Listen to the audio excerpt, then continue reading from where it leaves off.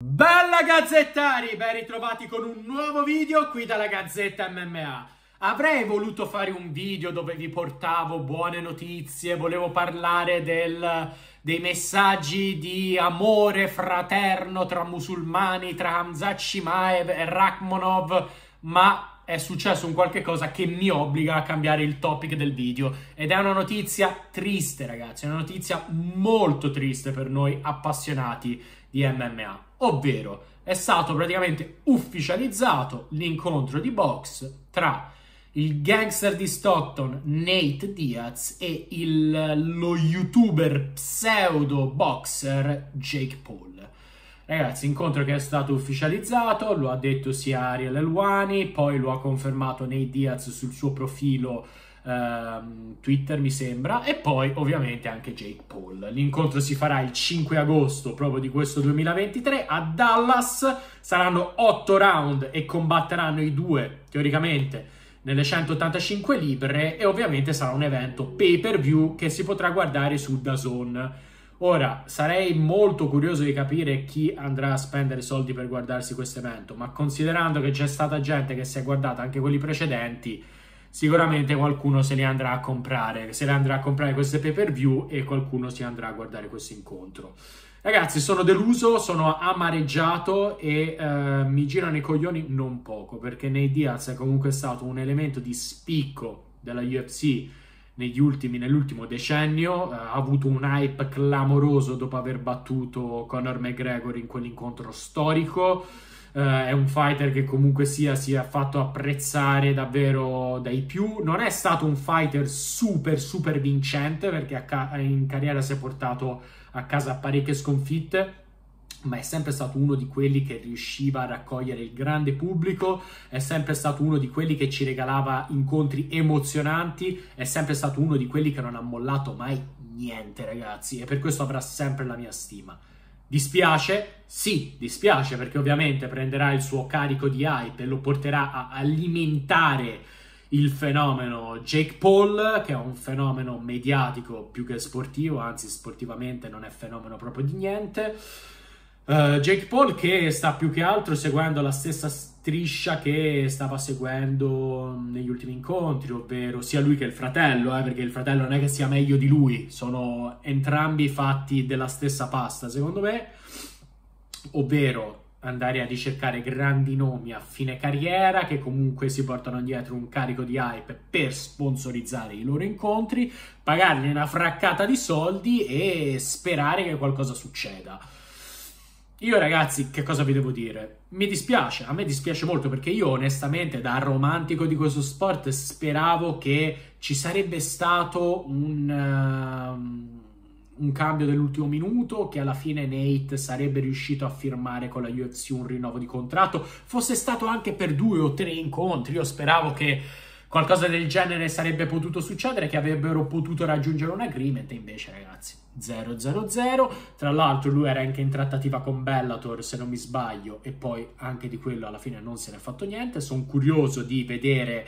Ehm, le stime ufficiali dei payout, quanti soldi prenderanno i Diaz, perché se, se, ti svendi a un fenomeno mediatico come Jake Paul, ti devi far pagare a peso d'oro, me, ma davvero lo spero per lui, perché eh, sta regalando la sua visibilità a questo soggetto, ok? Ora, prima però di andare un attimo più nel dettaglio, perché ci sono alcuni argomenti interessanti di cui parlare, ovvero questione steroidi anabolizzanti. Questa volta, amico mio Jake Paul, li fai i test antidoping o li salti un'altra volta? E poi Dana White, perché tutto questo è successo grazie a Dana White. Dana White ha spinto Nate Diaz verso un incontro di questo tipo e sta spingendo alla stessa maniera uh, Francis Ngannou nel fare una roba simile. Però prima di addentrarci in questi discorsi, vi ricordo come sempre ragazzi, lo sapete, spolliciate per supportare i miei video e il mio lavoro ragazzi. Iscrivetevi al canale se ancora non siete iscritti, attivate la campanella e soprattutto fatemi sapere se come prossimo documentario volete la Diaz Army oppure Khabibone nazionale, Khabib the Eagle Nurmagomedov. Uno dei due probabilmente inizierà questo weekend, quindi fatemelo sapere qui sotto nei commenti e uh, uno dei due uscirà a breve. Quindi mi raccomando, fatemi sapere quale preferite, quantomeno quale volete vedere per primo. Detto questo, partiamo proprio dal discorso steroidi anaboli. Ah, tra l'altro, prima che mi scordo, ovviamente questo verrà, questo documentario, o su Nate Diaz, sui fratelli Diaz più che altro, oppure su Khabib Nurmagomedov, eh, verrà unito alla playlist all'interno del canale che potete andare a ritrovare se fate un salto sul canale, insieme a tutti gli altri fatti fino adesso, Isra Desagna, Pereira, Hamza Chimaev, uh, Leon Edwards, Islam Makachev, John Jones, Francis Ngannou e tutti gli altri. Quindi se ve ne siete perso qualcuno, se non ne avete visto nessuno, mi raccomando andate sul canale e recuperateli. Allora, partiamo dalla questione steroidi anabolizzanti. I test stavolta li facciamo o non li facciamo, amico mio? Jake Paul, stavolta i, fe- i, test li fai o non li fai? Non che mi cambi niente, eh, perché io sono sicuro che ti bombi come un cavallo, per carità.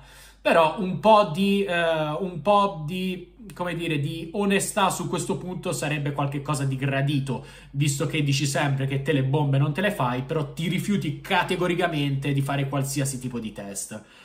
Comunque, detto questo, Passiamo ora al discorso Dana White, che è il discorso che mi preme più di tutti, perché è colpa di Dana White se queste cose succedono. È un Dana White che è uh, avaro, tasche davvero corte, corte, corte, pur di non dare un rinnovo a una leggenda, uno che davvero ha aiutato concretamente nell'ultimo decennio a costruire la UFC così come è adesso cioè, davvero te me lo vai a spingere verso una money fight contro Jake Paul? Va anche contro i tuoi interessi, pelatore di brother. E se non lo capisci, a breve, i fatti mi daranno ragione, perché incomincia a spingere Nate Diaz, incomincia a spingere eh, Francis Ngannou, quando gli altri fighter che combattono per due lire all'interno della tua promotion si accorgono che potenzialmente perché tanto a questi qui, Jake Paul, ma tutti questi tipi di personaggi, gli va bene qualsiasi cosa. Basta che ci sia il nome, non importa che tu sia un fighter forte, che sia un pugile, non importa niente, basta che gli porti visibilità. E allora io vi dico, un qualsiasi fighter di medio livello della UFC, medio, medio alto, rimaniamo sul medio alto, dai, che capisce che può fare una vagonata di soldi con un solo incontro contro un pagliaccio contro, come Jake Paul e che sono più soldi di quelli che può guadagnare un'intera carriera in UFC, se questo tipo di personaggi incominciano a mollare la tua promotion, e allora lì due domande te le devi incominciare a fare, eh? perché lì davvero incomincia a diventare pericoloso. Io ragazzi è un anno e passa che vi dico sta cosa e molti di voi nei commenti mi dicono ma che cazzo dici, ma non è assolutamente così, la UFC è la UFC, la UFC rimarrà sempre il top. No ragazzi, non è così assolutamente, perché qualsiasi azienda, per quanto pioniera nel suo settore di riferimento, ha un inizio, ha uno sviluppo e ha una fine, eh? Qualsiasi azienda ha un declino a un certo punto, soprattutto se si aprono le porte ad altre aziende e se la competizione aumenta. E in questi anni la competizione sta aumentando di brutto nell'MMA.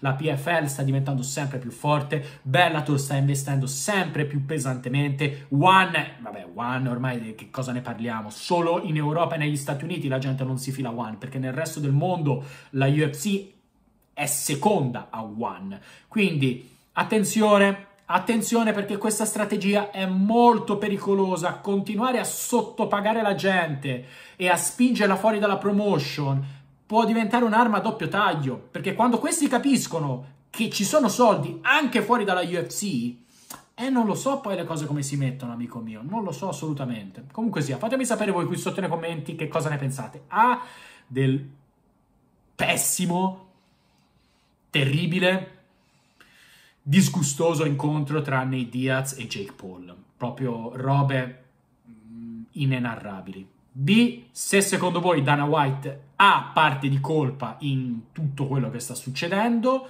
e eh, soprattutto se altri fighter, vedendo i soldi che si riescono a fare fuori dalla UFC, potrebbero incominciare a pensare e dire ma perché io non mi trovo un personaggio stile Jake Paul o addirittura cerco di autopromuovermi in fin dei conti, se mi va male, sì, mi va male, però magari mollata la UFC entro a One o a Bellator o uh, eh, PFL o quello che sia.